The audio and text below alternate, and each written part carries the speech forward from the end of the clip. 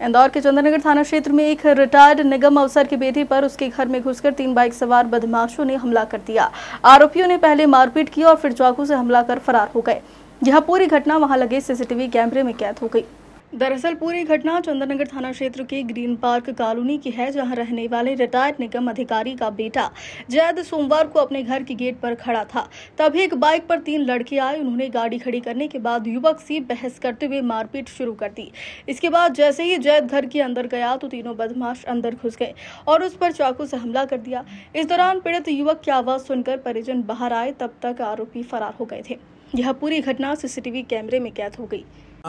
चंदन नगर थाना क्षेत्र के अंतर्गत आपस में झगड़े को लेकर के चांग में चाकूबाजी घटना पुलिस के संज्ञान में आई थी। फरियादी ने आकर के बताया कि कुछ अज्ञात युवक आकर के उनको कि तू हमारी माता और बहनों को यहाँ छेड़ता है और ऐसा तू मत किया कर। फरियादी के ये कहने पर कि ये मेरे घर, यह मेरा घर है, मैं यहाँ खड़ा रहता हूँ। इसके ऊपर से उनकी बहसबाजी हुई और बहसबाजी करने पे उनकी जुमा झटकी होकर के वो चाकूबाजी घटना सामने आई है।